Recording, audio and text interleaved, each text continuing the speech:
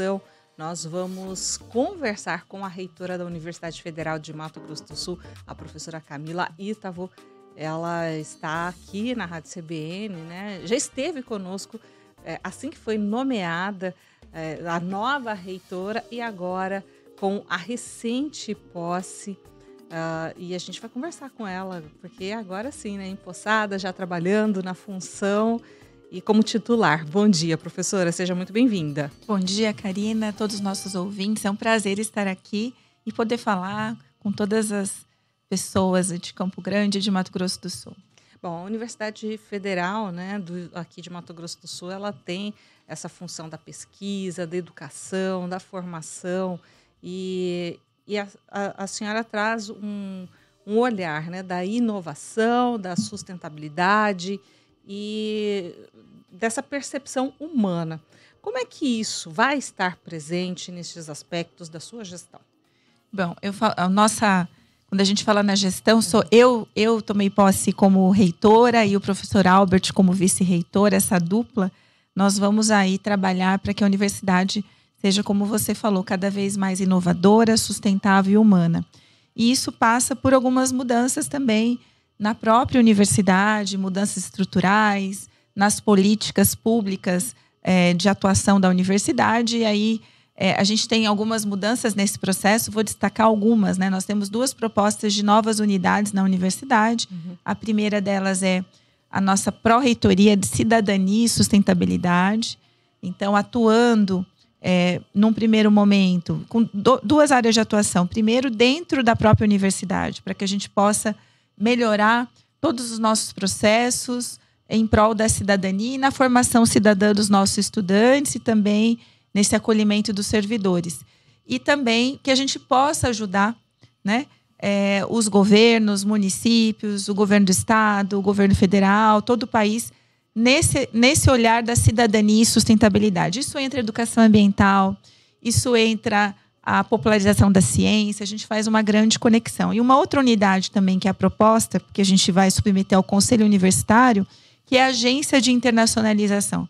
Hoje a gente tem aí Mato Grosso do Sul no centro da rota né, bioceânica.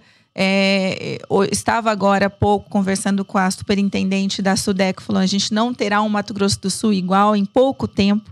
E a gente entende que a internacionalização ela é chave para o desenvolvimento da instituição e também do território. Então, é transformar a universidade em uma universidade internacional é, com habilidade linguística, e aí é o inglês, é o espanhol, com a valorização também das línguas aí dos povos originários, e que a gente possa trabalhar essa mobilidade e transformar a universidade em um, em um polo, em um hub educacional, para que a gente possa desenvolver a região e todos aí os países conectados. Essas são duas unidades já implantadas ou não? A senhora ainda leva esse projeto para aprovação? Como é que é isso? Isso. Na universidade, quando a gente pensa em estrutura e organograma, uhum. a gente submete ao conselho, Perfeito. aos conselhos superiores. Então uhum. a gente vai é, a equipe está elaborando essa proposta, mas já temos aí uhum. os, o, as pessoas liderando essa construção e era um desejo, né? Uhum. Era na, na, campanha, eu falo quando a gente apresentou, era vamos criar uma unidade para diversidade, inclusão e uma unidade dedicada à internacionalização. Então isso foi aprovado pela comunidade e agora já, a gente já entra na execução uhum. é, dessa política que, que combinamos. Bom, a partir de submetida ao Conselho Universitário, qual que é o tempo hábil, qual que é a previsão de já estar efetivamente funcionando? Já de imediato ela já, já vai funcionar. Na verdade, os processos nós já estamos já é, realizando. Já estão percorrendo. Exato, já. exato. Tem oito dias, né? oito dias de, de reitoria. Estamos com uma equipe muito engajada. Tivemos aí a permanência de algumas lideranças, mas também a chegada de novas pessoas. É, todas foram escolhidas pelo mérito, pela competência e pela lealdade institucional e o amor que tem pela UFMS de fazer a diferença para todas as pessoas. Oh, a senhora era a vice-reitora da gestão anterior, né? A senhora comentou de alguns nomes que foram trocados. Como isso é, identifica, coloca a sua cara de gestão como titular? É, na verdade, a gente vai vendo aquela visão, né? O que, que a gente pode fazer diferente, né? Inovar, que é a nossa. E aí a gente forma um time É, acho que um destaque que a gente tem aí com a participação das mulheres na gestão, isso também é um, foi uma, uma questão importante e principalmente pessoas com experiência. Então a gente trouxe pessoas que já estavam trabalhando, executando bem as suas tarefas e que aí hoje podem contribuir cada vez mais. Eu falo que é, é uma caminhada, a gente contribui e a gente prepara, a gente tem que preparar novos líderes e sucessores para que possam aí sempre cuidar da nossa universidade muito bem. É, é uma ruptura ou é uma transição? É uma transição. Eu acho que toda evolução é isso, e vou dizer assim: que momento bacana a gente pensar. A gente teve oito anos do reitor Marcelo Turini, e aí a gente passa agora para essa gestão, que é a reitora Camila Ítavo, e a gente tem um momento muito suave de transição, de muito trabalho, de conexão de informações, de dados disponibilizados, de equipes trabalhando, quem, quem é, hoje vai para outros desafios passando o bastão com muita responsabilidade. Isso é exemplo de governança e eu digo que a universidade tem que ser exemplo para muitas instituições e também para os governos, né? Dessa transição é, bacana, técnica, humanizada e sempre em prol da população. Acho que esse é o grande desafio. E a gente está muito feliz de estar fazendo de uma maneira muito bacana. a senhora falou aí da parte administrativa, de como isso já está é, sendo atualizado, né? E que é já para 2025, então essas novas unidades já estarão em funcionamento. Mas eu queria perguntar o seguinte, professora, a senhora, quando esteve aqui com a gente, Logo da sua nomeação, a senhora citou alguns projetos aí que a senhora tinha vontade de colocar em prática. E o planetário, como é que fica? Planetário, a gente já está em processo de aquisição. Teremos um planetário fixo na universidade, o primeiro de Mato Grosso do Sul, com capacidade para 40 pessoas. Então, dentro do projeto que é o Parque da Ciência e o Museu da Ciência e Tecnologia. É, tem aqui duas semanas, nós inauguramos o primeiro auditório imersivo do nosso museu. Então ele é um museu que ele é muita tecnologia e inovação, mas ele vai falar, ele fala sobre o universo, sobre terra, sobre vida, sobre Mato Grosso do Sul e sobre futuro, resgatando e trazendo a importância da cultura sumatogrossense, dos nossos biomas, dos povos e colocando a bioeconomia e as pessoas é, dentro desse processo. Então a gente já teve a inauguração, fica ali no nosso estádio Morenão o Museu da Ciência e Tecnologia, o Parque da Ciência, o Planetário, em breve. Eu espero que aí ano que vem a gente já inaugure. E aí eu falo que a gente vai ter mais e mais oportunidades, chegando aí aos 20 monumentos científicos, que é, a gente fala que é para criança, mas não é para as crianças de, de 0 a 100 anos, idades, né? para né? todos é. nós, porque é, a gente consegue aprender, é, interagir e ser o local e espaço das famílias. Outro, outra ação do coração. A gente inaugurou o Mercado Escola, fortalecendo a agricultura familiar. A gente teve agora na semana, é, na última semana de outubro, a gente teve o Integra, que é o maior evento científico de Mato Grosso do Sul, com 2.500 trabalhos em anexo do Mercado Escola, com a agricultura familiar junto. Essa conexão, a cultura. E a gente, ano é, 2025, Integra estará firme e forte, quem sabe até maior. E o nosso Autocine, que aí a gente está agora finalizando as obras para resgatar o autocine que está na memória e no coração de todos nós, com cinema, economia criativa, arte, cultura, de volta ao Campo Grandense, ao Sul Mato Grossense. Então, aquela área vai ser assim. Eu, eu falo assim: existem é, artigos falando de acupuntura urbana, né, de revitalização dos espaços, que isso muda na, no município. A gente vai ter uma área entregue e renovada para a população campograndense, sumatogrossense. E o Morenão, professora? Morenão, nós estamos agora fazendo estudos jurídicos, né? Para é, já é, propor também a, a concessão para que a gente tenha aí um, um Morenão renovado. Mas não é o objetivo da universidade, acho que nosso objetivo é, é a ciência, a pesquisa, a extensão, o ensino a gente não tem aí ferramentas para fazer a gestão de um projeto tão grandioso como é o nosso Morenão. Então a gente vai então é, estar no jurídico já no, foi a primeira ação já fazer esse estudo. Então o estudo está acontecendo para que a ideia é que até o final desse ano a gente já faça é, a concessão do nosso estádio. Olha só, então para 2025 já teria essa possibilidade? É, a ideia é fazer a concessão e aí vai ter os critérios disso e aí claro. quem for a, assumir. assumir e aí ele vai poder fazer esse cronograma de, de, de, execução, de, execução, de, de reabertura obras, de né? obras e de ações necessárias. A gente quer o Morenão como um grande laboratório, claro. um espaço de conexão. Uhum. Mas o nosso sonho é o Morenão de volta aos palcos brasileiros e necessário. E... Exato. É necessário Exato. esse morenão de volta. Professora, bom, aqui a, a, senhora chega, vem falando da Universidade Federal, é claro que tem acadêmico participando e acompanhando a nossa Isso é live é bom, também. Que ótimo. então, perguntando o seguinte, viu? A Keila Carolina está se identificando aqui, está dizendo sou estudante de jornalismo e queria saber se é, há algum projeto de voltar com as caixas de som pelo corredor central para que os alunos ouçam a rádio produzida pelos acadêmicos. Ah, isso é muito legal. É a Rádio Corredor. É eu conheço essa rádio. É, sim, eu acho que esse é o caminho da Agência de Comunicação Social e Científica. Essa, cada vez mais a gente tem trabalhado com a integração. Hoje a gente tem a TV da UFMS no YouTube, a gente ganhou um canal é aberto, que é o canal 13, né? Também temos aí toda a concessão de rádio, queremos parceria com as rádios, queremos parceria com o curso de jornalismo cada vez mais junto conosco para a gente poder executar todos esses desafios. E aí eu conto com o curso de jornalismo nessa, nessa nova jornada. Obrigada, viu? Obrigada. Isso, né? Os alunos com certeza participando também dessa gestão que está só começando, né?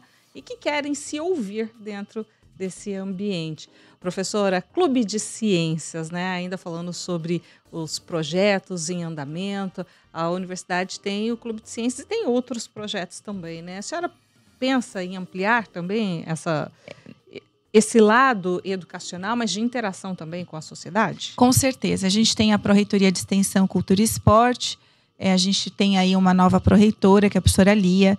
E a gente está fazendo estudo dessa pró-reitoria, inclusive para a gente poder é, fortalecer os pontos estratégicos. Então, a gente tem uma diretoria de popularização da ciência, que a gente vai, então, adicionar e, e colocar cultura junto. Então, trabalhando a ciência junto com a cultura, com a parte museal, com os clubes de ciência, dando todo esse apoio no Vem para o UFMS, no parque, nos laboratórios, fortalecendo a, os nossos estudantes nesse processo e também a comunidade acadêmica, com cursos, convivências, experiências, observação de céu, clube astronômico. Então, a gente tem a Casa da Ciência também nesse processo e a gente vai trabalhar. E, do outro lado, a gente tem também uma diretoria de esporte e lazer, é, transformando, né? Eu falo assim, a universidade que sempre já esteve nisso, mas com para trilhas de educação ambiental, para o esporte de competição, mas também para o esporte de lazer, para essa integração. E a gente vai trabalhando tudo nisso no meio à extensão. A extensão, para quem nos ouve, às vezes não está no ambiente universitário, é o que nos liga com a sociedade. Quer claro. dizer, às vezes a gente olha a Universidade Federal, Karine, e fala: ah, olha, eu não sei, eu não estudo lá, é. ninguém da minha família estudou. É um espaço gigante. É um espaço gigante, isso não é para mim. Primeiro, dizer assim: a gente quer trabalhar que isso seja para todos. Então, trabalhar com cursos menores, com microcertificações, ajudando as pessoas e toda a população, não só o estudo formal, por exemplo, um curso de graduação ou mestrado e doutorado. E também é, atuar na extensão, que é essa proximidade, tanto por meio da ciência, da cultura, do esporte e lazer, mas também para essa formação que a, a população tanto deseja. Então, é concursinho preparatório, para provas, concursinho de línguas, com aulas de música, de teatro, de dança, academia, clubes de ciência e assim por diante. E para a formação, professora, afinal de contas, a gente está aí, inclusive, já às vésperas da realização de alguns processos seletivos né, para o ingresso da universidade. O que, que a graduação deve ganhar ou deve ter de novidade para os próximos anos? Eu quero aproveitar aqui e dizer que a gente está aí até dia 13 de, novembro, de novembro, perdão, 13 de novembro com as inscrições. As provas da UFMS serão aí dia 1 de dezembro, vestibular, e 8 passe, que é aquela do ensino médio. E o que, que a gente tem de novo? E o que, que a gente tem? Então, nós estamos aí, enquanto todos os professores e técnicos é, fazendo um estudo e dialogando para que a gente possa cada vez mais aprimorar o projeto pedagógico dos cursos. O projeto pedagógico quer dizer assim: que, que o estudante vai estudar, como que vai ser esse processo. E a gente vai olhar com maneira muito carinhosa e cuidadosa o estudante que trabalha. É algo que a gente precisa valorizar e entender, porque é um desafio. Nós temos, as pessoas não imaginam, mas nós temos muitos estudantes trabalhadores que muitas vezes trabalham o dia todo, chegam na universidade, saem de madrugada e às vezes não conseguem, Karina, aproveitar o que nós estamos falando aqui, Sim. da extensão. Então, nós vamos trabalhar, por isso que a gente fala da UFMS inovadora. Uhum. Inovar para proporcionar melhores condições para que eles possam aproveitar é, a Universidade Federal e possam fazer a diferença no dia a dia deles. Além disso, é, pensar então em cursos a, a, as pessoas mudaram, os jovens, as crianças. A gente vai ter que olhar esse processo do modelo de ensino-aprendizagem de maneira diferente e também entrar. Já fizemos uma primeira ação na questão de auxílios estudantis. A gente publicou um auxílio inédito, que é o edital transporte, de auxílio transporte para os nossos estudantes. É, espero que todos aí estejam participando e que possam aí ser é, agraciados com mais essa, além de auxílio, mor, é, moradia, creche, permanência, alimentação, auxílio transporte foi o auxílio novo, que também estava na nossa, na nossa programação, que já oferecemos esse edital. Tem projeto de implantação de novos cursos? Sim. Nós estamos, e é aí possível antecipar eu, algum? Eu quero, eu quero até fazer um convite é. para todos que no, nos ouvem. Então, um projeto que estava no meu coração é a gente ter uma UFMS cada vez mais participativa. Tem a ver com a UFMS humana. Então, a gente está no momento de, da construção do novo plano de desenvolvimento institucional. Esse plano é como se fosse uma carta de navegação da Universidade Federal, em que a gente põe quais são os nossos sonhos, desafios, e lá é uma plataforma aberta para todas as pessoas de Mato Grosso do Sul, não só a comunidade acadêmica. O site é o fms2030.fms.br. Lá a gente pode apoiar propostas que já foram inseridas e podemos também inserir novas propostas.